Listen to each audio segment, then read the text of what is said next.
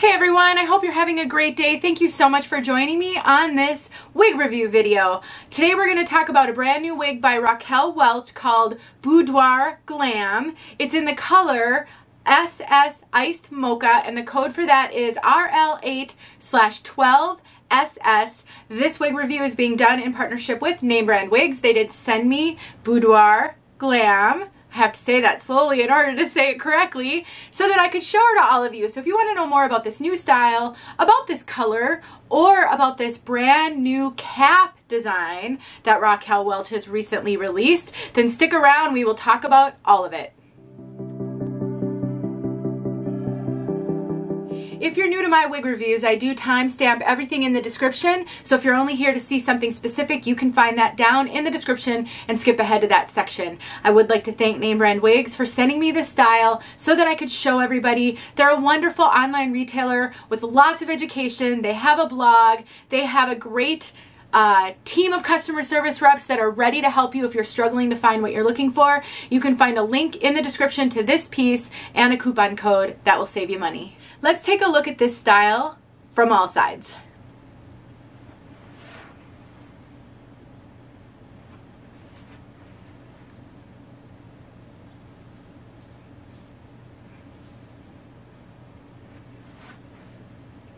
This is a severe A-line with a really pronounced stack in the back.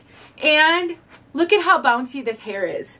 This is, it even feels bouncy. When I shake this around, I can feel the whole top of this piece sort of flowing side by side. This is a really unique lightweight cap design and it has a lot of hand-tied features. We'll look inside this brand new Lux Lite cap that they recently released in just a little bit. But I want you to appreciate the fact that this wig does not have permatease, but it is very full and poofy. And that is a product of the cap and how they have sewn or tied in all of these fibers on the top to give it lift. It's a really unique style that doesn't need permatease to give it lift, so you get the volume that you're looking for, but not the poofy, pillowy permatease, which can add insulation. This cap is really light, really lightweight, and really fun. Now really, I think the star of the show is this brand new Lux Lite cap. So let's get right to the cap construction.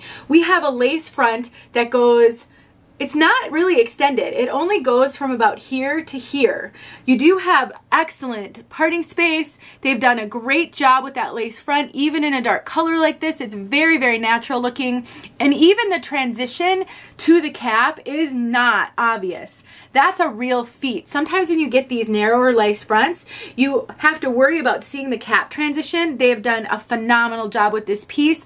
So even though it doesn't have an extended lace front, I don't really think it matters. It looks really natural. We also only have a mono part on the left side, but all of the rest of this has some hand-tied features. So theoretically, you could part this on the other side if you want to, but you do have to contend with the fact that this hand-tied cap over here has cluster knotting. Sometimes that can be somewhat visible. I think it can totally be worked with. You'll probably have to take heat to this piece to get the fibers to train over to the other way. But if you really, really don't want to part your hair left going over to the right, you can certainly play with this and try to get it to work with that hand-tied side-by-side feature and the cluster knotting. Let's take a look at this cap. Again, it's called their Lux Lite. There is the lace front, there's the part, and then here and here is all hand tied. We also have hand tied up on the top. That helps to give the hair really natural movement. That's why when I was shaking my head, it really felt odd because all of those fibers up there are moving independently. They're moving around. They can move around almost 180 degrees, whereas on wefting, it has some closed wefting back here. It really all moves in unison and can really only move up or down. So we've got closed wefting about midway back all the way through. All of the rest of this is hand tied. Another unique feature of this is uh, these polyurethane strips on the ear tabs and on the nape. This is a really unique feature. They're very, very grippy. They're not sticky, but they're super grippy. And I'll be honest with you guys, it is a little disconcerting, the grippiness at the nape. If you struggle with your wigs riding up in the back and that has been a complaint of yours, this actually grips your neck. When I move my head, I at first I really couldn't figure out what was different about this, and it's because it's not slipping around back there, it's actually gripping my neck. I'm not really sure if I even like that right now because it's so different from what I'm used to, but I do think some of my wig sisters are gonna love that. It helps to keep that from slipping up in the back. That's a really nice feature. We've got Velcro adjusters and that is the inside of the cap. Let's throw her back on. You know, I don't know if I'm feeling the seams. Let me just, before I throw her back on, let me just quickly mention. So we've got these, they've sewn this on. Can you see? Oh, let me get the face out of there. Can you see that stitching? I almost feel like I can feel that stitching on my neck. I don't know. And, and here at the ear tabs, I don't know if that's just the polyurethane that I'm not used to feeling and it's so grippy or if I can actually feel all of that stitching. But it definitely feels different and feels very unique.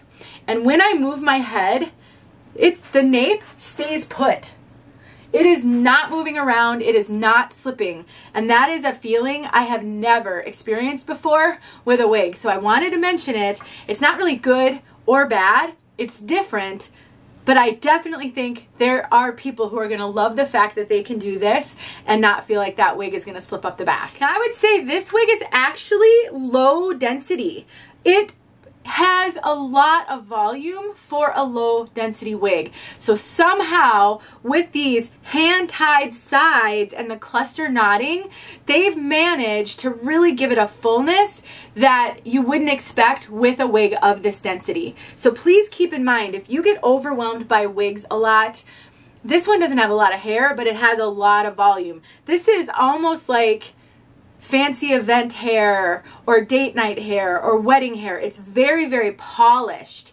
And it definitely looks like you took time with volumizer and round brushing and back combing and thickening. I mean, it definitely has that look that a lot of women spend an hour or more on their hair to get. Now these fibers are heat-friendly fibers.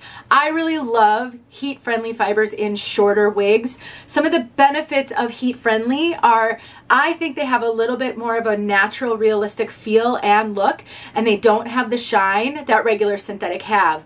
So if you've been afraid of heat friendly because you've heard that they're hard to care for, I just want to encourage you on a shorter piece like this that isn't going to rub up on your clothing.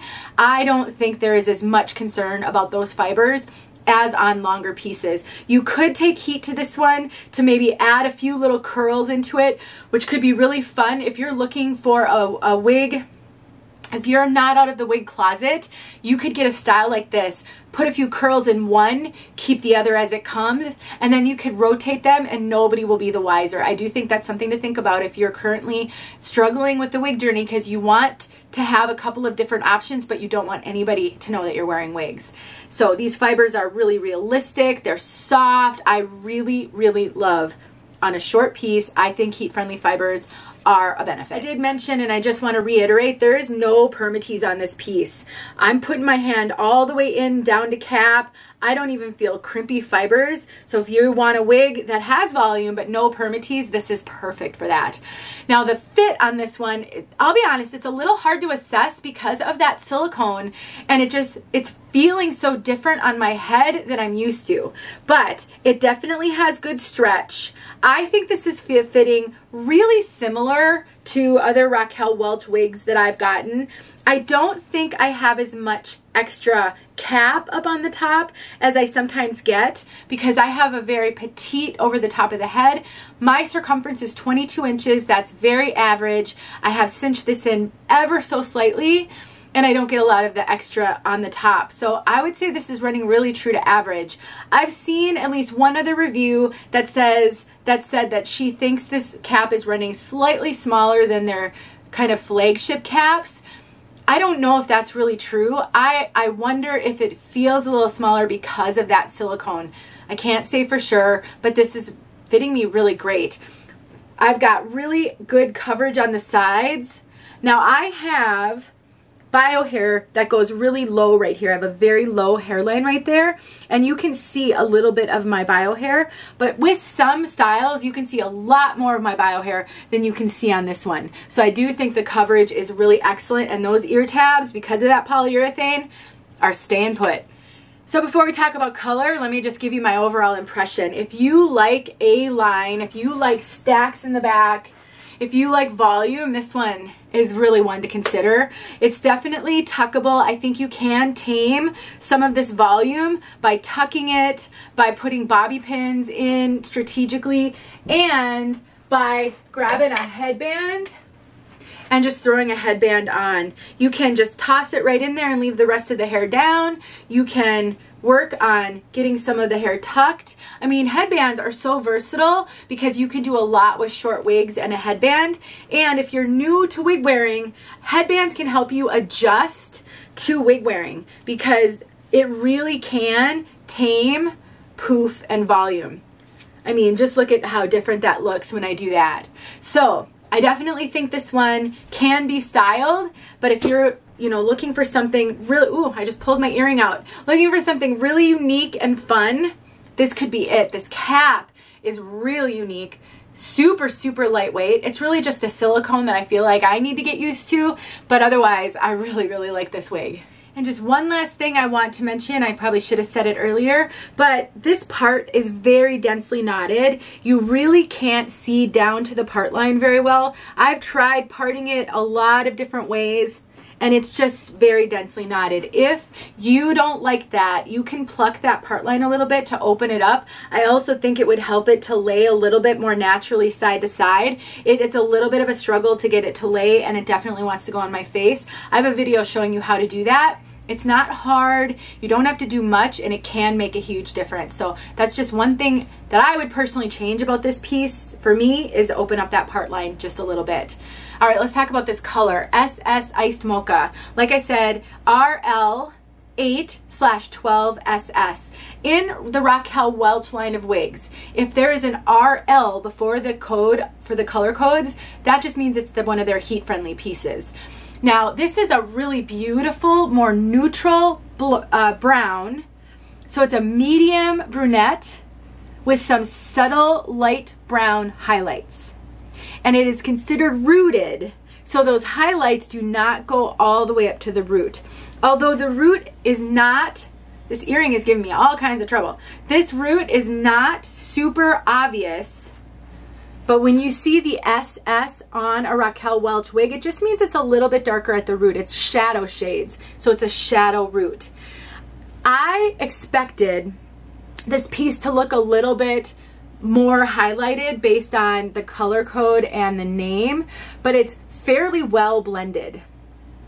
It definitely has some dynamic tonal variation but it's definitely not like a super highlighted. They've taken that 12, which is a light brown, and they've really blended it well with the 8, which is a medium brown.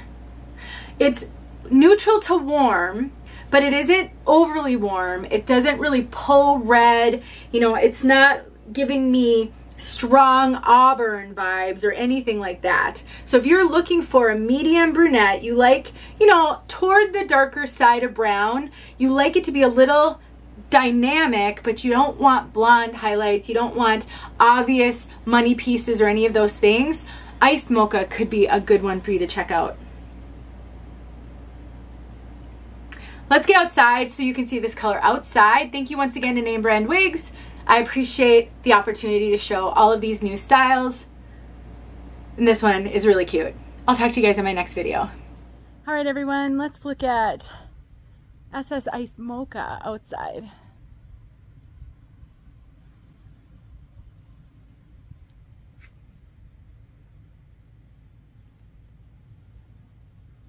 I like when I can do darker colors because I've got a lighter background. But when I do lighter colors, I'm, it's harder for me to get a contrast. I think my husband will allow us to side the other side of the house different.